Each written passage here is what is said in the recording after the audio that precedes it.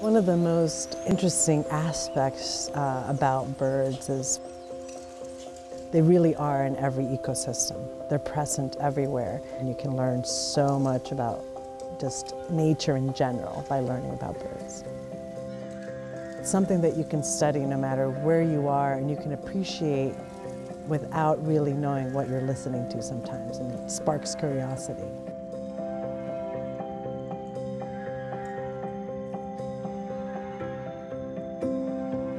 Migratory birds cross national borders regularly and at least twice a year, in spring and autumn. The invisible roads taken by the bird in the sky are called flyways. Some of these, for example, link the Arctic tundra of Scandinavia to the seashore of South Africa. And the birds undertake their epic migration with 20 to 30 of these wing feathers.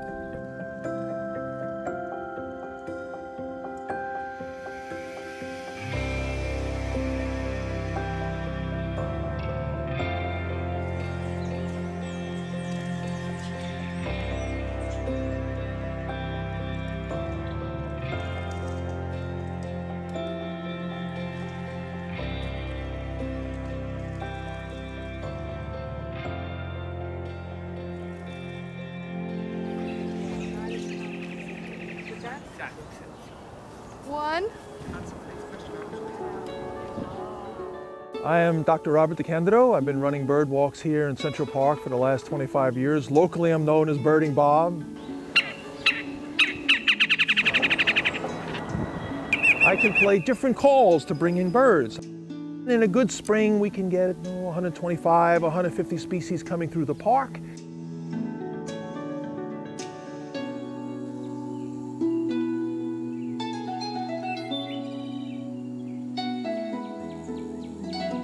One of the major challenges that, that many populations, many species of migrants face is that you have habitat loss, you have increasing uh, pollution by light at night, you have an incredible number of, uh, in particular in New York and other big cities, large structures that, that go up into the atmosphere that affect the way birds move.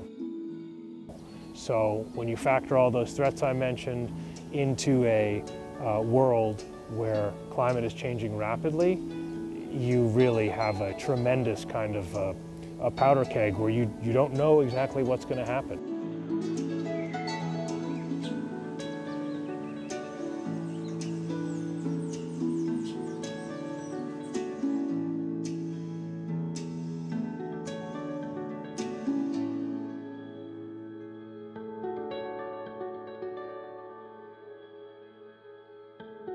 I uh, work with the project eBird, which is a citizen science effort to collect birding data uh, about observations of birds across the globe. We had this great population of birders who were out, outside looking at birds all the time anyway, and so we developed tools to collect data from them about birds and then are using that to inform conservation. There's lots of ways that birds help uh, connect us. Uh, they, they are important uh, predators of insects. Uh, so for example, if we lose all birds, we're going to be overrun with spiders. Uh, and I don't think anybody wants that. Some of the most exciting work, I think, comes when, for example, I was just recently in Guatemala and we were in a forestry concession called Uaxactun within the Mayan Biosphere Reserve, one of the most important areas for migratory birds. And they might be able to see some of the migration maps that we've generated but we were actually banding birds as well. When we were there and to show some of the members of the community, this bird actually flies to my yard and comes back here.